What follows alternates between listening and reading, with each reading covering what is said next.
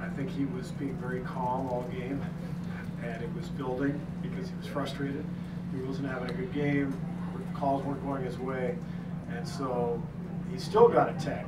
Uh, I didn't think he deserved a tech, but he was walking away from, from the ref and gave a tech, and I think he was frustrated because Draymond was frustrated because he got the technical. Yeah, I mean, was walking away and I got the tech, but even when I was right there, all I said was how. So I don't know. You pick when I'm supposed to get the tech. If it's for saying how or if it's for walking away.